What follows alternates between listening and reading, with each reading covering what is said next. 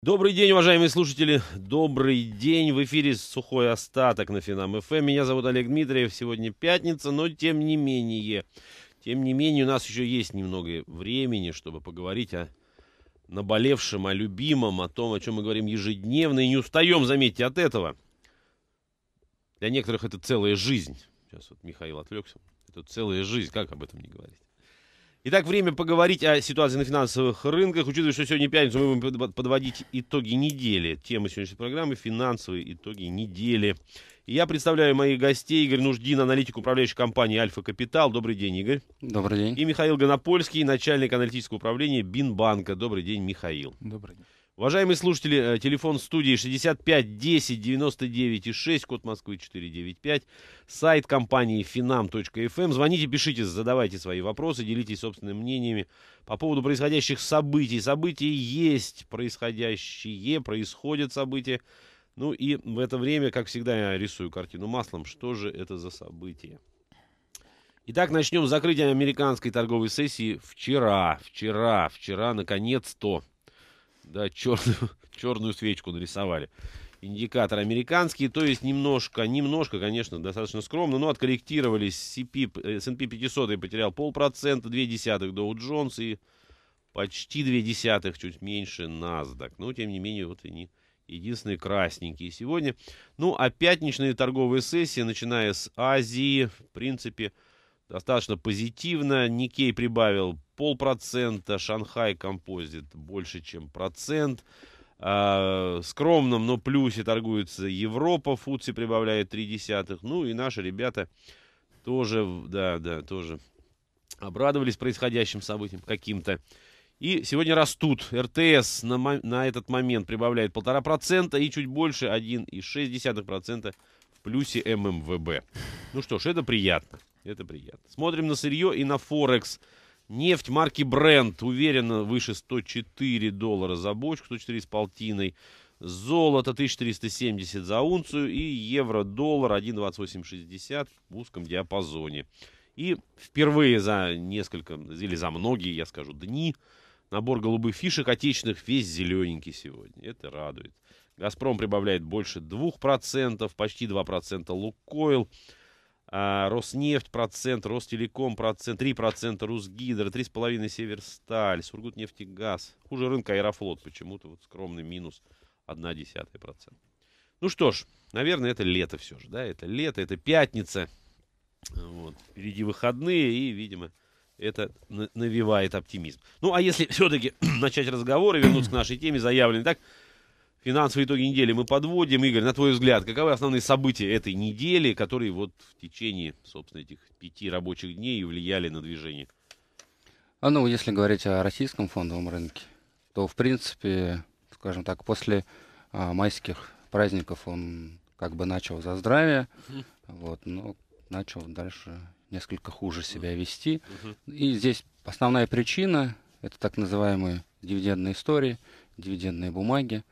А, по многим российским эмитентам где-то с конца апреля до середины мая начинаются отсечки. Угу. Вот, и инвесторы после этих отсечек начинают акции продавать. Вот. Это была одна, одна из основных причин, почему снижались российские фондовые индексы и почему произошел, скажем так, небольшой разрыв между российскими акциями, да, их динамикой и динамикой там, зарубежных площадок, которые, в принципе, более или менее неплохо росли. uh Вот если так вкратце. Вкратце основное событие вот этой недели. Да. Да? А, Михаил, вопрос тебе. Если посмотреть теперь уже не только на российский рынок, а и, так сказать, на зарубежные площадки, какая-то идея главенствовала над ними на этой неделе? Ну, я думаю, что основная главная вещь на мировом рынке этой недели – это движение по доллару, которое шло укрепление доллара против uh-huh. всех валют, можно там единицы, кто, в общем-то, не продемонстрировал ослабление по отношению к доллару.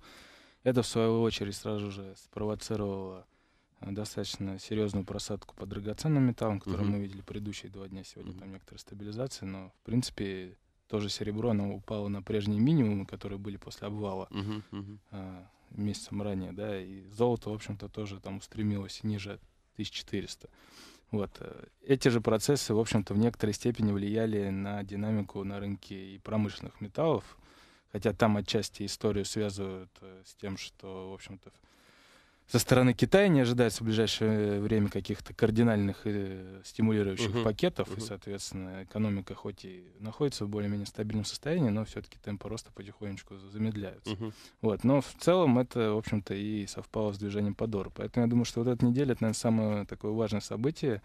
Там индекс доллара к корзине валют там локальный максимум пробивает. И, Мгм. в общем-то, если этот тренд продолжится, то, э, в принципе, в ближайшую неделю там все коммодити смогут тоже себя не, не лучшим образом вести. Мгм. Вот это, наверное, наиболее интересно. Вот. э, Ну, а, соответственно, здесь уже дальше можно как бы приплести много разных там вещей. Сейчас мы приплетем обязательно.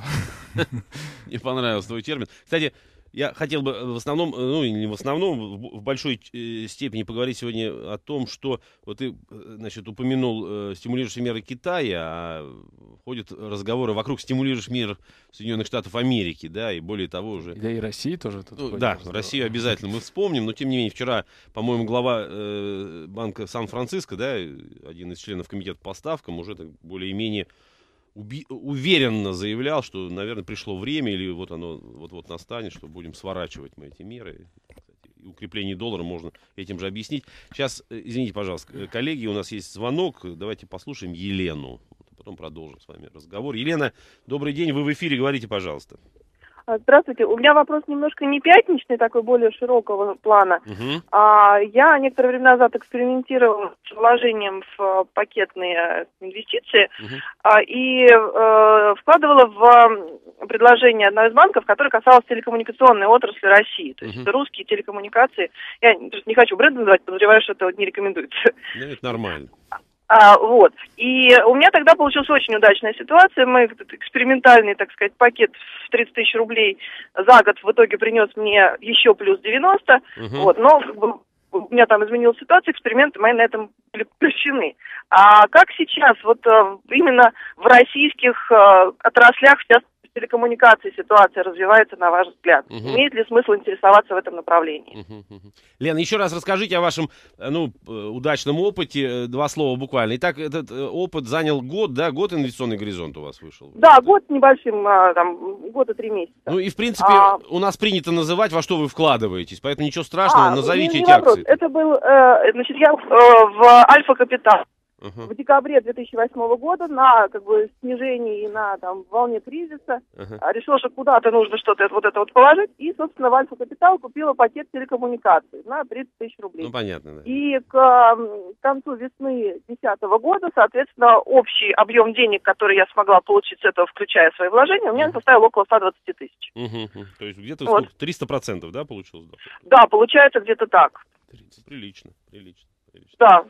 Хорошо, Лен, спасибо за вопрос. М? Ну и учитывая, что да, прозвучало, я имел в виду, э, значит, э, Какие как- бумаги? какие имена? бумаги из телекоммуникационного А сектора. какие имена можно Да, называть? да, да, и, а не тот, кто вам э, помог в это делать. Ну, хотя, собственно, что тут, видишь, очень хорошо. У нас Ну, как раз Игорь.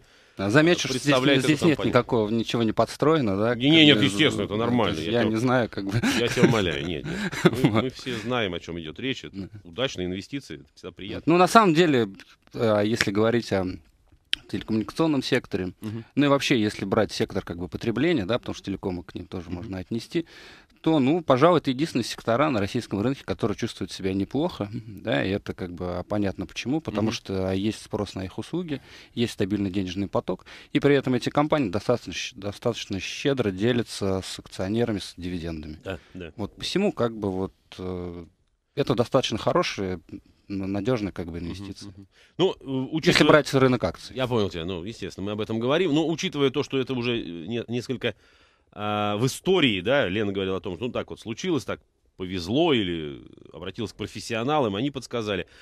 Я так понимаю, что Лену сейчас интересует э, идея, да, повторить этот э, положительный опыт, и что, на ваш взгляд, могло бы быть могло бы принести, ну, может быть, не такую доходность, да, в течение года, но как минимум могло быть интересно. Ну, помимо, видимо, телекоммуникационного сектора. Как ты думаешь, Игорь?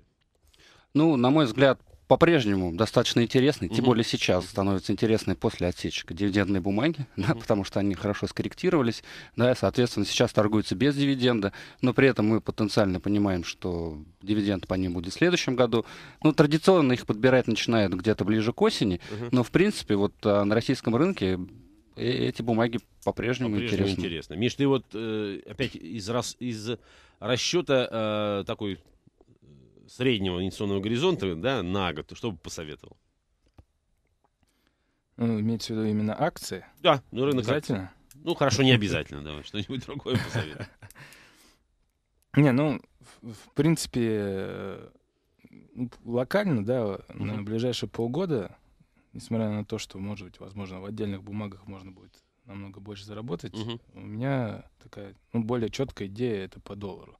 Вот, потому что, соответственно, э, здесь, ну, по крайней мере, из тех мыслей, какие у меня есть, э, достаточно четкая тенденция, что тренд по укреплению доллара ко всем валютам будет Извини, пожалуйста, интересная очень мысль, но мы сейчас послушаем новости, а потом тогда уже продолжим этот разговор. Новости на Финам ФМ. Итак, друзья, мы продолжаем эфир. Сухой остаток на Финам ФМ. Меня зовут Олег Дмитриев. В гостях сегодня Игорь Нуждин, аналитик управляющей компании Альфа Капитал, и Михаил Гонопольский, начальник аналитического управления Бинбанка. Мы подводим финансовые итоги недели, отвечаем на вопросы, ну и, собственно, один из них уже нас порадовал. Я порадовался за Елену, ну это приятно, да, когда на таком достаточно неоднозначном рынке все-таки кто-то говорит, я заработала за год и приличные деньги. Это приятно, Лен.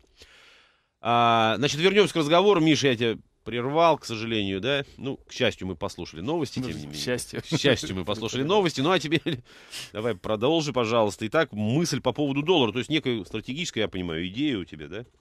Да, ну, э, соответственно, если говорить про equity, то, безусловно, наверное, на э, временном горизонте гонт, да, Мгм. может быть, э, удастся заработать. Э, Я просто не уверен, что вот именно сейчас вот такой вариант для входа самый лучший в условиях, когда все-таки мы будем видеть пока еще слабую статистику Мгм. ближайшие месяцы, как минимум, по крупнейшим странам мировой экономики. Вот, и неизвестно, чем это... И Штаты в том числе. Штаты тоже второй Мгм. квартал будет похуже. Мгм. Вот, даже несмотря на то, что по секторе неплохие данные продолжают все еще выходить. Мгм. Вот, поэтому э, с учетом этих всех факторов, наверное, ну, на мой взгляд, сейчас, наверное, не та, не совсем лучший уровень для входа, да, хотя, наверное, может быть, от текущих меток на горизонте год э, и динамика в, в ряде секторов будет неплохой. Вот, наиболее четко пока идея есть по доллару, потому что, во-первых, есть э, глобальное движение по доллару, оно, скорее всего, будет развиваться, потому что в любом случае при плохом или при хорошем сценарии Мгм. от этого получается у нас выигрыш в пользу доллара. Если идет плохой сценарий мировой экономики, то в любом случае паритеты ставок во всех регионах мира, они будут сужаться к доллару, потому что там еще есть поле для маневра. Да? Мгм. Поля для маневра в США нету, там все, что можно, уже снизили, и все куи, что можно было, Мгм. уже запустили. Там смысл делать куи там, из 80-120 никакого нету абсолютно. Никто Мгм. это делать, скорее всего, не будет. Мгм. Вот поэтому при плохом сценарии там каком-то мировой экономики у нас получается в любом случае доллар по доллару каких-то кардинальных новых стимулов не будет.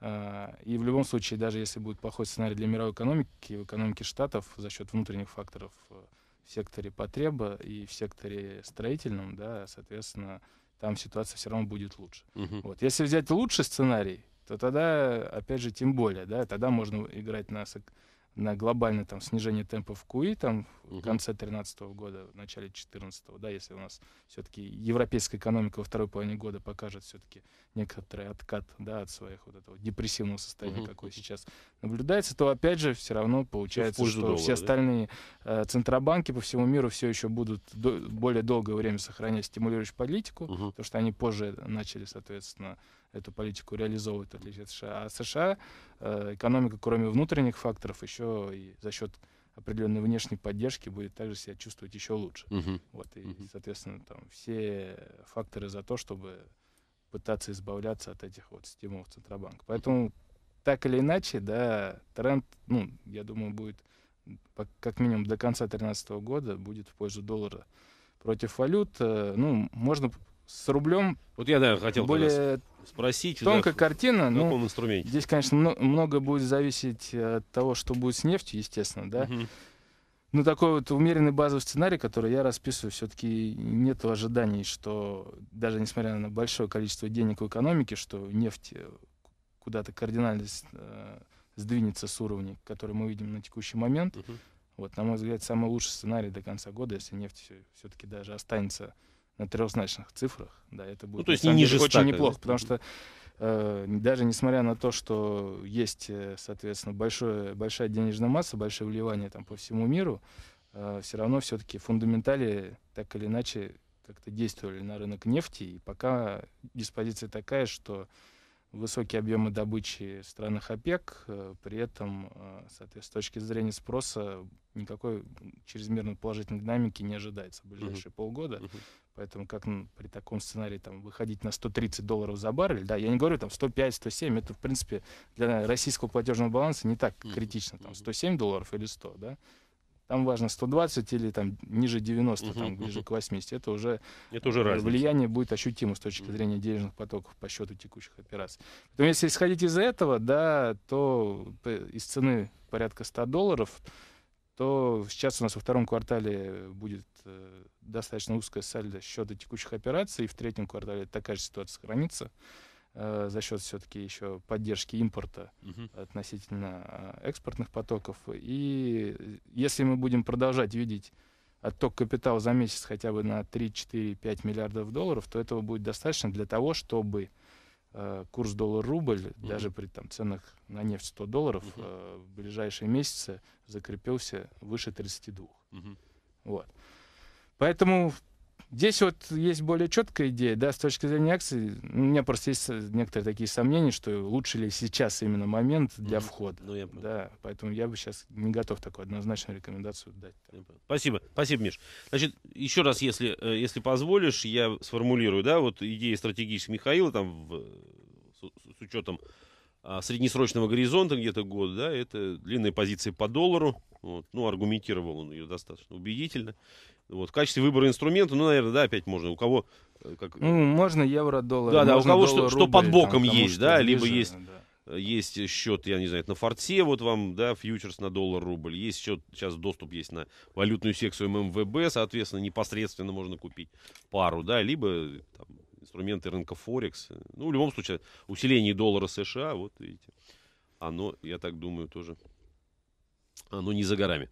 А, и теперь, э, собственно, э, об этом э, Миша начал говорить уже. Давайте, если можно, про, э, про а, проанализируем, ну и мне не нравится, конечно, слово пр- спрогнозируем, но тем не менее поговорим о будущем программы количественных смягчений Соединенных Штатов Америки, тем более, еще раз я повторю, уже, так сказать, официальные лица позволяют себе, да, не просто там намеки, а конкретные фразы по поводу того, что вот пора уже, наверное, все это дело под, подсворачивать. Игорь, как ты видишь это в перспективах каких и аргумент для этого все-таки какой-то должен быть? Ну, опять-таки же там надо посмотреть комментарий, да, какой был. А комментарий был следующий, то, что, скажем так, причина для сворачивания программы количественного смягчения Мгм. это опасения некоторых членов ФРС а, того, что американский финансовый рынок или рынок акций начинает несколько перегреваться. Мгм. Да, там, и, соответственно, вот один как бы это на одной чаше весов. Мгм. На другой чаше весов это как бы та экономическая ситуация, которая в США. В принципе, она не сказать, что какая-то плохая, там более или менее экономика чувствует себя неплохо, да, там, поэтому, в принципе, вполне есть, да, там, ожидание того, что американцы могут начинать сворачивать программу количественного смягчения. Тут же надо еще и понимать то, что, в принципе, здесь ФРС и не нарушает каких-то своих а, обещаний, Мгм. да, Мгм. ставки будут оставаться на рекордно низком, ни- низком значении, да, там пока, скажем так, уровень безработицы не опустится до комфортного значения или до того таргета, который обозначает Федеральная резервная Мгм. система. Здесь никакого противоречия нет, да? Да, ну, в принципе, вполне возможно, если мы и дальше увидим, скажем, такое продолжение бурного роста финансовых активов, да, рынка акций, при этом он не, он же сейчас уже немножко идет как бы а, а, а, раскоррелирует с тем, Да, что мы да. видим как бы в реальном, да, секторе, Совершенно да, вполне как бы возможно. ФРС попытается таким способом несколько, охладить пыл. Миш, вот ты говорил, что вполне возможно во втором, да, и может быть даже в третьем квартале, что американская экономика покажет худшую, несколько худшую, да, динамику. Про третье не уверен. Хорошо, извини, да, во втором-то точно. Ну, во втором есть факторы. Промсектор сейчас за последние три дня особенно уже отчетливо увидели. Мгм. Показатели по промсектору, соответственно, они, соответственно, стали ухудшаться. Это от региональных индексов деловой активности. Вчера филадельфийский индекс, до этого Нью-Йоркский индекс. Плюс фактически данные по промпроизводству более слабые. Ну и плюс в начале месяца мы видели АСМ э, по промсектору США тоже, который, соответственно, стал ухудшаться Мгм. направ- ближе к 50 туда идти Мгм. направлении. Вот. Но, но это все-таки, да, там сколько, промышленность, это в американской экономике это там 10, там 15 процентов, наверное, ближе к 10. Мгм. Остальное это потреб сектор, сектор услуг. Да. И здесь пока каких-то критичных моментов мы не видели. Мы видели сильные данные по рочным продажам. Вот сегодня будет важен индекс э, настроения потребителей мичиганский, Мгм. который будет ходить. И в целом, э, да, э, есть, в общем-то, понимание, что сектор услуг даже во втором квартале, несмотря на то, что хоть какое-то замедление все-таки за счет эффекта фискальной большей нагрузки Мгм. может произойти, Мгм. все равно ситуация достаточно комфортная, и там полтора, может быть и 1,8% рост экономики, второй квартал экономик ну, в США может быть достигнут. Да, Мгм. это ухудшение по сравнению с первым кварталом, где было ближе к трем, да. Но, в принципе, это для США достаточно комфортно, и рост такой достаточно здоровый. Вот. Если вернуться к теме, да, вот этих последних выступлений, там, я бы обратил внимание на такие моменты. Во-первых, да, там действительно, ну, за- если за последние два дня, там, по-моему, три члена там региональных, гла- три главы региональных федеральных резервных банков, да, как-то озвучили такие намеки в пользу, что, может быть, там кто-то поагрессивнее, кто-то послабее, Мгм. что Мгм. что-нибудь с этим делать, да, с программой КУИ, как-то сокращать, там, или что-то перекладывать. Вот, но вот именно комментарии последних двух дней, они, в общем-то, от тех людей, которые в этом году не голосуют. Ага. То есть там Фишер, Плоссер, вот этот Вильямс, они тоже в этом году, по-моему, не члены комитета по открытым рынкам с Мгм. точки зрения голосующих Право голоса, прав. да. Вот, поэтому пока э, прям вот четко именно на них ориентироваться, наверное, такой с большим убеждением не стоит. Вот, то есть самое первое и важное, да, то есть э, есть ранг Бернанки. Да. В Бернанке у нас э, важное выступление будет на следующей неделе, 22 числа. Мгм. Вот, там будет некоторый взор по экономике, можно будет уловить какие-то настроения по поводу и Мгм. монетарной политики. Ну, второй ранг это Елен, соответственно. Ну и дальше голосующие члены Федрезерва. Вот на них надо ориентироваться. Действительно, определенные разговоры там потихоньку рождаются, но пока, вот если посмотреть, да, действительно, там рынок труда крепчает. Но, там, на мой взгляд, для того, чтобы Федрезерв уже к более четкому мнению пришел, нужно хотя бы там стабильно в среднем видеть там за три месяца рост рабочих мест выше 200 тысяч. Пока- Каждый месяц причем, да? в среднем за Среднем, три месяца. среднем. За месяц, да. Да, Да, да, да, месяц. да, ежемесячно. Мгм. Вот. Пока как бы мы это в первом квартале такую рваную динамику Да, видели, да, и да. такого вот усредненного показателя стабильности нету. Вот. Второй момент, э, ну то есть, в принципе, спешить смысла нет. Второй момент, Мгм. который говорит о том, что, в принципе, сильно спешить опять же нет, можно еще демагогией заниматься еще полгода по поводу сокращать, не сокращать. Это то, Ну, что по крайней мере, рынки инфляция, нервировать, да? инфляция. Вчерашний данный по инфляции очень низкая инфляция. Миш, извини, еще раз, значит, новости на Финам ФМ, потом продолжим разговор. Ну что ж, мы продолжаем наш эфир «Сухой остаток» на Финам ФМ. Сегодня подводим финансовые итоги недели. И в студии Игорь Нуждин, аналитик управляющей компании «Альфа Капитал», и Михаил Гонопольский, начальник аналитического управления Бинбанка. И вновь, Миш, я прошу прощения, да, прервали мы тебя, слушали новости, и теперь давай вновь послушаем тебя, значит, собственно. Ну, завершая, да, политике мысль Федрезерва. такая была, э, резюмируя, что, в принципе, поговорить о необходимости, возможно, сокращения КУИ сейчас можно, но большой потребности и какой-то э, реальной срочности Мгм. этого пока что нет в моменте, да. Вот. более, Вопрос, что- насколько рынок опережающими темпами будет воспринимать вот эти вот настроения Федрезерва, если какие-то намеки дальше будут складываться. Конечно, конечно. Вот. То есть в любом случае любой разговор сейчас, да, любые вот какие-то Ну, в любом Кас- случае, можно сказать, темы, что это глобально, нервы. да, для всех очевидно, э, чтобы там Бернанке или кто-либо там не говорил в ближайший месяц, что если э, выход центробанков из стимулирующей политики будет рано или поздно, Мгм. то первым это будет делать, скорее всего, ФРС, исходя из того, что экономика в стране более сильная, исходя из того, что они этих стимулов добавили больше, чем все. Мгм. Вот и все. Я- Логика достаточно простая здесь. Я понял. Если позволите, много вопросов у нас сегодня. На пятницу не совсем это похоже, но давайте поотвечаем на них, может быть. Ну вот вопрос касаемый сначала Америки же. А, Я не уверен, конечно, что все, что э, описывает данная ситуация наших слушателей, э, это так оно и есть, но давайте поверим на слово. Итак, Антон пишет. Билл Гейтс отныне снова самый богатый человек мира, 72 миллиарда у него. Его конкурент медиамагнат потерял 20% денег из-за падения курса акций его компании. В мире самая богатая компания Apple и самый богатый человек не нефтяной магнат. Информационные технологии приносят прибыли больше, чем нефтяные. Неужели в мире, это вопрос, неужели в мире теперь все завязано на электронный рынок? Вот такой вопрос от Антона. Игорь.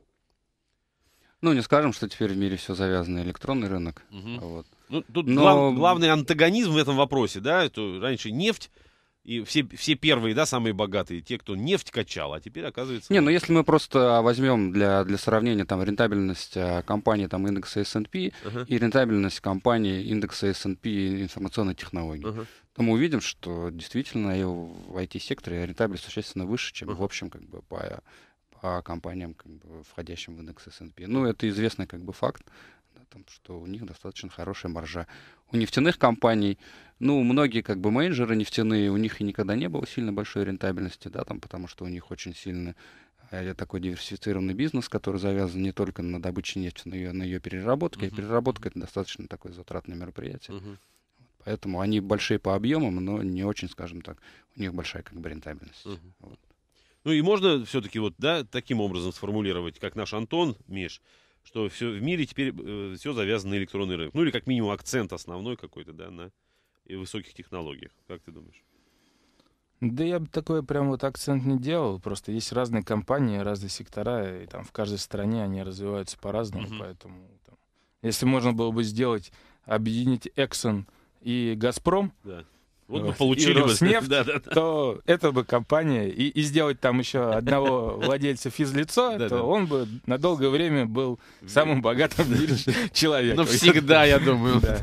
Уже и рейтинги никому бы не Вот. нужны были. Мы все знаем, кто. Поэтому здесь вопрос такой, Ну да, философский. плавающий. Плавающий. Хорошо, давай теперь о России поговорим. Тем более, что есть поводов много. Насущных и не очень, может быть. Ну, давайте такое мнение я прочту. Иван пишет.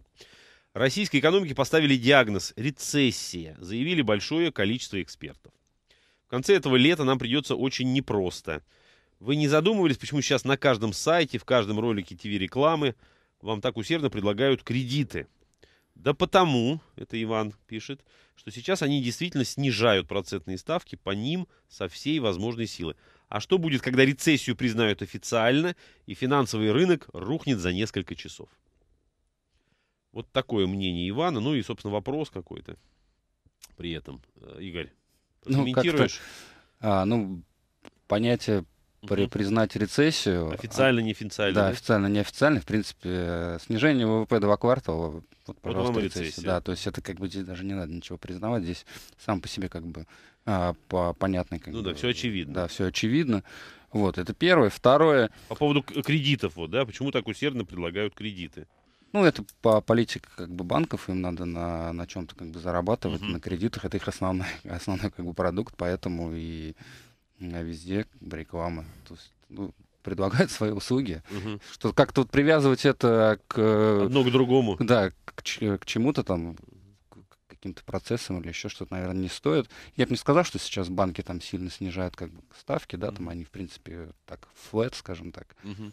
Вот есть небольшое движение по снижению ставок по, по депозитам, да, там по- были такие, да, там заявления, что, по-моему, Сбербанк там снижал, еще что-то. Мгм, Ну мгм. вот по кредитам пока этого нету. Но, скорее всего, наверное, да, будет движение, потому что сейчас как бы идет давление, да, там на, на, на банки. на- на Политическое Да, давление, да, на да. Центробанк, Мгм. что российской экономике надо помогать, да, там пока они видят а- одну из, один, скажем так, из способов, как это сделать, Мгм. это вот э, за счет э, банков, да, там, хотя понятное дело, что одними банками вряд ли это удастся сделать, да, нужны все-таки такие более мощные какие-то вещи, да, Мгм. там, вот, как-то вот так. Более мощные рычаги. Миш, Да. ты как смотришь на, э, на перспективы банковского сектора? Действительно, вот э, потребительское кредитование, какое-то другое кредитование, сможет оно помочь выходу из рецессии?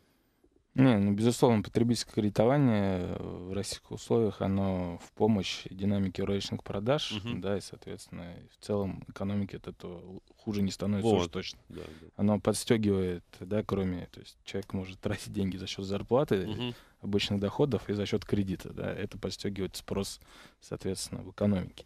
Вот. Другой вопрос, что у нас пока еще так, не такой большой вес, да, сектора а, Потребительскую. именно. потребительского в экономике, поэтому эффект такой сглажен, но это такой хороший внутренний рычаг, и этим надо заниматься.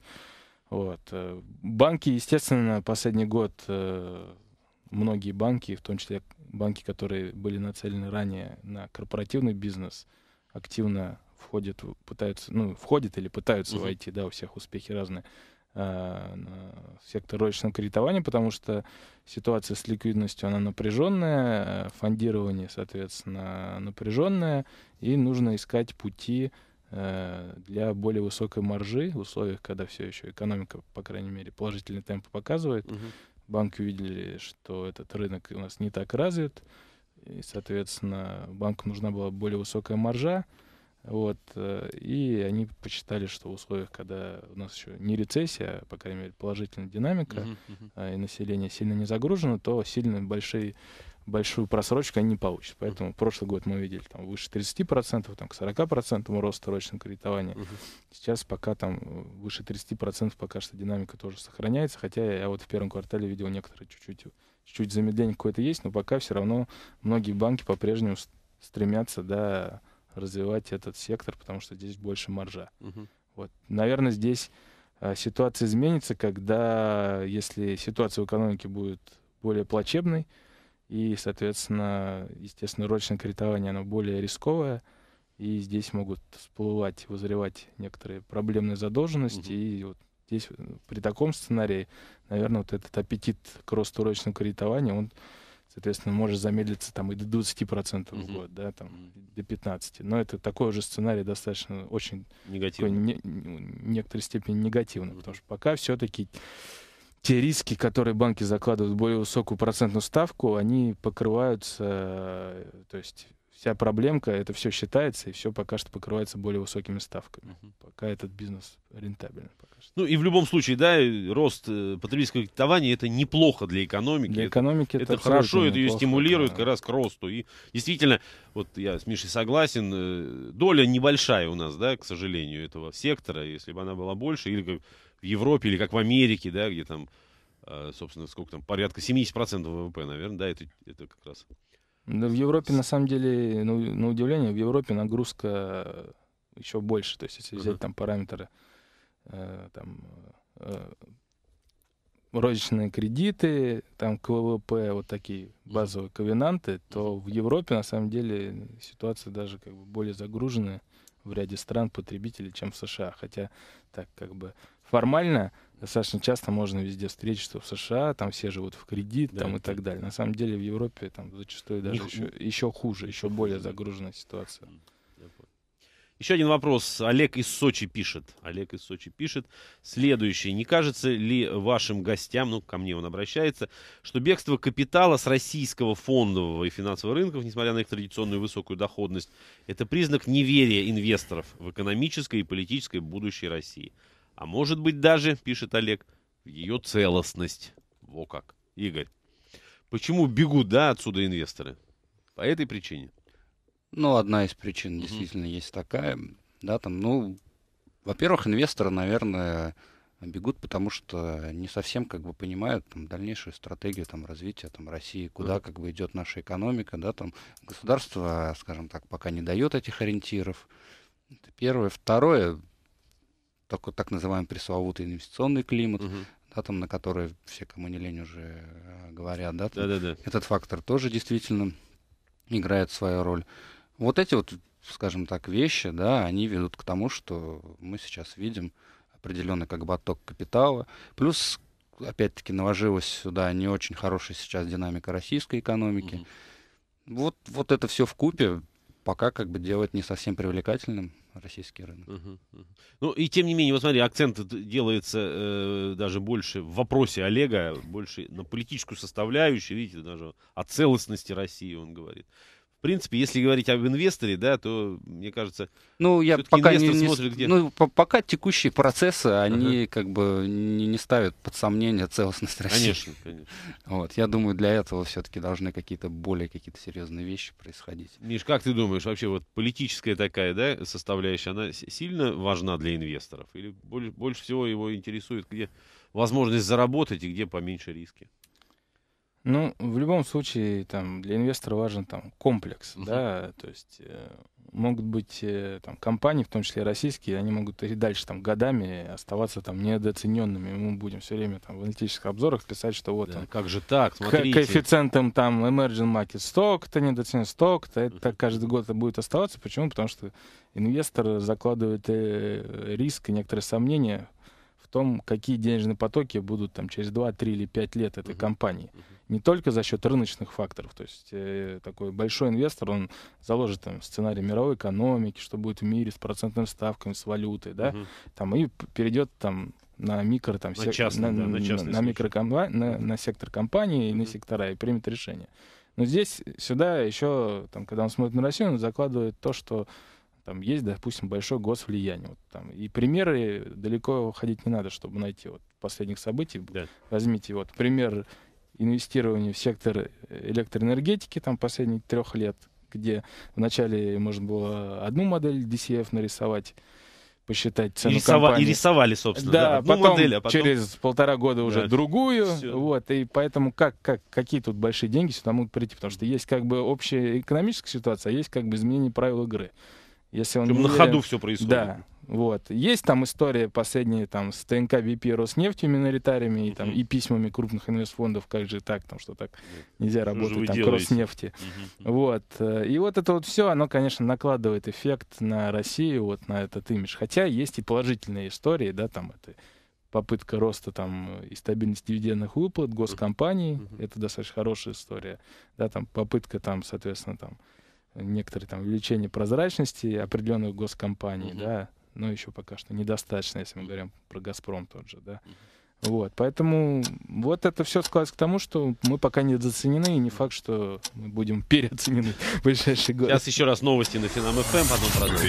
Ну что ж, друзья, последняя часть эфира. Мы продолжаем отвечать на вопросы, которых неожиданно для пятницы, ну, мне, по крайней мере, так показалось, достаточно много. Есть вопросы очень, я бы сказал, частного такого характера, и, в принципе, на мой взгляд, ответ на них очевиден. Э, Вот. Ну, извините уж, уважаемые гости, я, тем не менее, вас сейчас помучаю такими вопросами, вы уж так, да, вы уж отнеситесь к этому не снисходительно, потому что наверняка это, эти вопросы сказать, тревожат наших слушателей. А, Мария пишет, добрый день. В связи с известными событиями в, председателем правления Росбанка, ну, по крайней мере, на вчера-сегодня, да, это на первых полосах средств массовой информации. Так вот, Мария спрашивает, в связи с этими событиями, стоит ли клиентам, ну, я так понимаю, этой финансовой организации, прежде всего, опасаться каких-либо финансовых потерь, в частности, снижения процентных ставок по вкладам или изменения кредитных условий? Миш, ты как представитель банка. То есть э, опасаются, что теперь бесплатно будут снижать ставки. Ну, теперь пойдут какие-то, да, репрессии в адрес клиентов. Ну, я, я, со стороны я просил вас от- отнестись это, к этому с должным вниманием. Да Ну, не, я думаю, что никаких изменений абсолютно не будет. А. С точки зрения рядового вкладчика, соответственно, крупный, достаточно стабильный банк, принадлежащий не резиденту. Мгм. В общем-то, этот банк, э, несмотря на, возможно, какие-то обстоятельства там с точки зрения менеджмента, мы еще не знаем, да, покажет суд. мгм, Но Центральный банк достаточно жестко следит за банками топ-10. мгм. топ А он входит в десятку. ну, по-моему, должен где-то Да, там да, быть да, да. недалеко уж точно, потому что достаточно крупный банк, и, соответственно, с точки зрения финансовой стабильности, я думаю, вряд ли там что-то угрожает с точки зрения рядового клиента. Ну, то есть надо понимать, да, что вот события, которые происходят, это частный случай, да, а есть организация, которая, естественно, да, работает, которая выполняет свои обязательства, и эти вещи, они никак не пересекаются. Хотя на имидж, конечно, может быть в какой-то степени Ну да, с спекулятивно. точки зрения имиджа, Да, да, наверное. да, это ну, неприятно. Публично вроде как у нас акции не торгуются. торгуются, там. Влияет не ли это глобально Societe Generale Ну, в общем, там были и другие истории, там, Да, и с да. трейдерами по Самые несколько миллиардов Забавные, долларов. да, которые не на те Вот, кнопки нажимали. Есть там, и проблемы во фра- французской экономике, где Вот там именно. бизнес достаточно там серьезно сосредоточен, поэтому да. Мгм. что эта история там кардинально сме- сменит диспозицию там в акциях Societe Generale тоже не факт. Ну, да. Ну, то есть, да, это ра- вещи разного уровня, да, разного масштаба. Хорошо, давайте вернемся, тем не менее, э, к нашим э, событиям, происходящим в России. И я хотел бы еще от вас добиться комментария, э, дождаться комментария по поводу позавчерашнего теперь уже заседания Центрального банка Российской Федерации. Ставку оставили, как ты уже предполагал, на прежнем уровне, да? Ты же Не, я ждал, что снижут. и про- ты про июнь, по-моему, говорил, нет? Или про май? Я ждал, что снизят в Ты- мае. Ты, каждый раз ждешь, всё, да, они жду, все не жду. снижают. Но, тем не менее, ставку оставили на прежнем уровне, хотя, собственно, ожидания, да, теперь по снижению в- на июньском заседании увеличились э, существенно. Э, Как, э, как вы видите дальнейшее развитие этих событий, Игорь, да, и, собственно, как это Ну, повлияет на экономику? Понятно, что ЦБ опасается роста инфляции, да, там она, в принципе, сейчас, скажем так, не находится в комфортном коридоре, Мгм. вот, и поэтому он пытается такими достаточно хитрыми маневрами показывать, что, да, он ситуацию видит, что, в принципе, возможно, определенные меры будут приниматься, но пока ограничивается, скажем так, снижением длинных ставок, что и будет иметь меньший эффект, да, там на на индекс потребительских цен, чем если бы он там а, занимался бы там снижением ко- коротких ставок. Мгм. Но, скорее всего, если все-таки мы дальше и будем видеть ухудшение да, там, ситуации в российской экономике, давление на ЦБ продолжит усиливаться, вот, и вполне возможно, что буд- будут какие-то да, движения уже и по коротким ставкам, Мгм. возможно, будут даже и изменения в подходе, да, там, вот, скорее всего, может быть, с приходом нового главы ЦБ мы увидим каких-то более, скажем так, активных, агрессивных действий со стороны, Мгм. ну, не агрессивных, активных, скорее, Активно, да, да. на действия со стороны Центробанка. Не хотелось бы, чтобы он у нас был уж слишком агрессивным. Ну, тем не менее, дама будет у руля, э, да, об, агрессии, об агрессии говорить не приходится. Михаил, ну теперь июньское заседание. Ты, конечно же, скажешь, что... Да, конечно же, да. Конечно же, да. Конечно же. Ну, э, я, честно говоря, я очень расстроен, что опять ставки не снизили.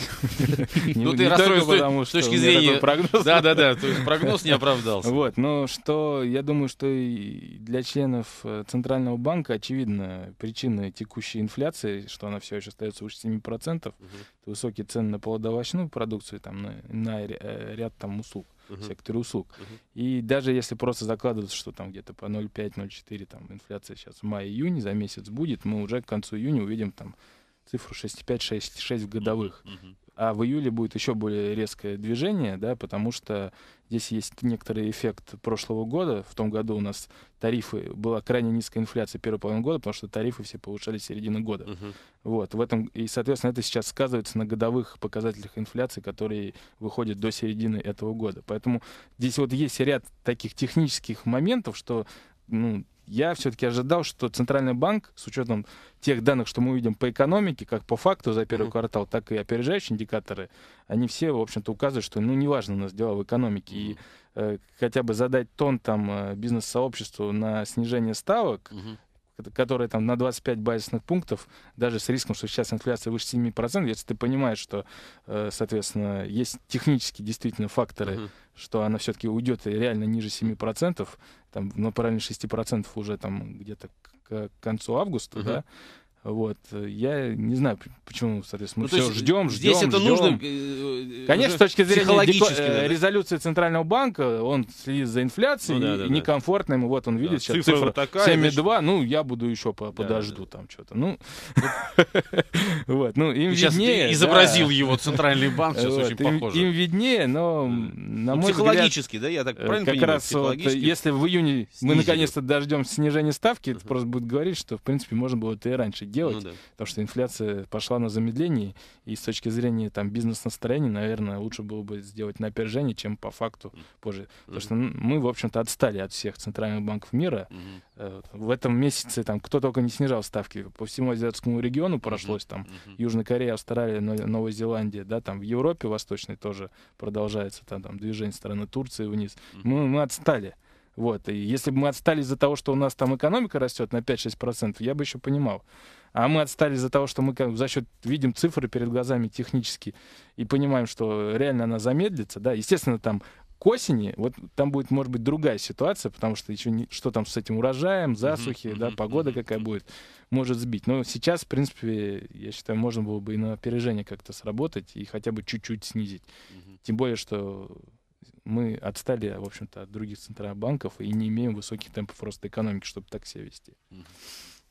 И не имеем права, да, не имеем права так себя вести. Но, тем не менее, вот, происходит то, что происходит. Еще один вопрос, он, правда, касается не совсем, а, и точнее, совсем не касается России, но это вопрос с точки зрения инвестиционной такой привлекательности. Вот наш а, слушатель интересуется, Анатолий его зовут. Пишет он, недавно корейская компания Samsung протестировала мобильную сеть пятого поколения. И помимо этого, пишет Анатолий, эта же компания за прошлый год получила 95% прибыли на рынке смартфонов.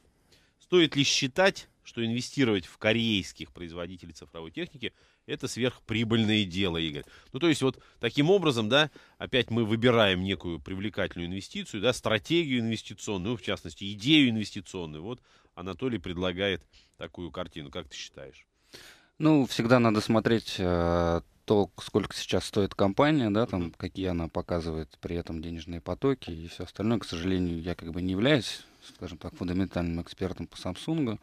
Вот, но, Нет, скажем мы так, сейчас не говорим, конечно, конкретно. Ну, в принципе, да, IT-сектор он а, привлекает именно потому, что практически большинство компаний этого сектора это компании роста. Мгм. Они показывают хорошую динамику своих а, финансовых показателей, вплоть до того, что бывает эта динамика даже опережает рост их котировок.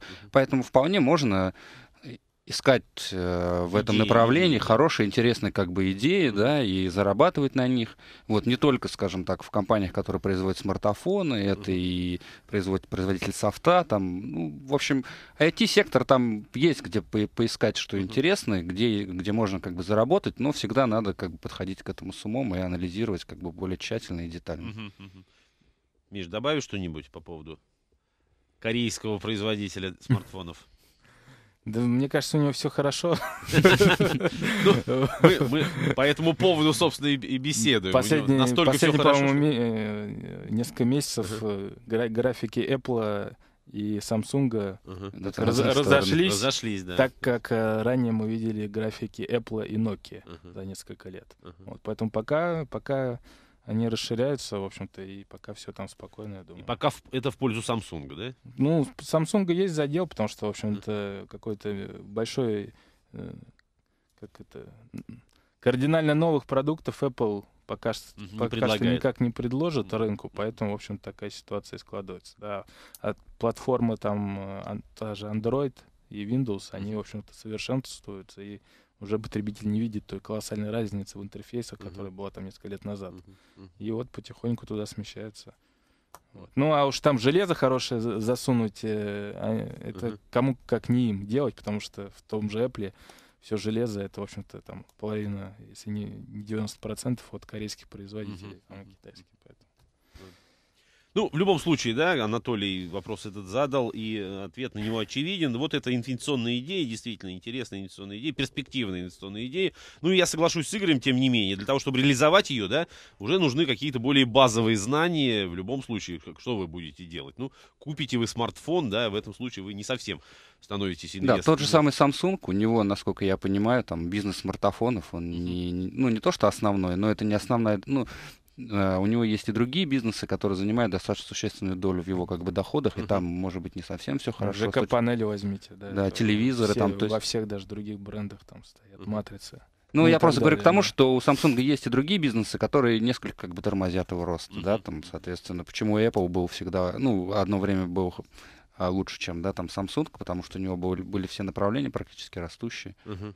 Вот. То есть Поэтому, примерно всегда на, надо на смотреть. одном уровне, да? Да, поэтому надо всегда смотреть глубже, а, копаться, понимать, а откуда- Комплексно, комплексно надо смотреть. Кстати, опять вот э, этот э, вопрос и ответ на него перекли- перекликается с звонком Елены, помните, да, которая заработала именно на IT-идеи, на российской, правда, то, что приятнее вдвойне, на российской идее приличная доходность. Поэтому вот Ну, она на телекомах, у нас, к сожалению, IT-идеи в России. Ну, они пока еще, да, пока... есть, они как бы интересные, да, там, но они не настолько как бы большие, там, Яндекс, Mail, там. Хорошо.